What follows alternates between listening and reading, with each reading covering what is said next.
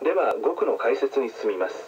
今回の英文を理解する上で難しかったかなと思う語句を中心に解説いたします。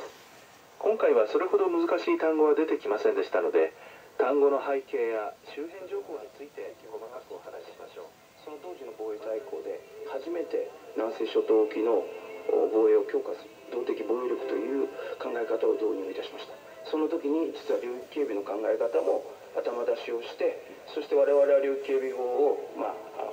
案化をして、えー、昨年の臨時国会に提出をいたしこれをしろとしよう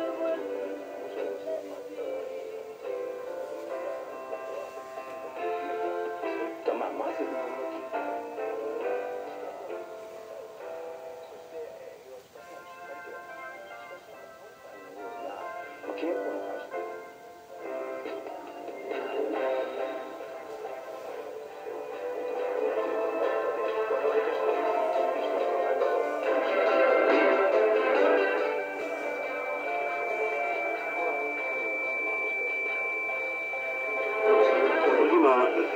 お二人がおっしゃったことでね視覚の問題が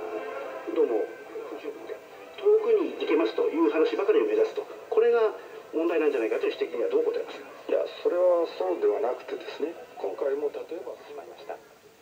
昔のドッグランドで肩を寄せ合うようにして暮らしていた人たちはどこに行ってしまったのかなと思います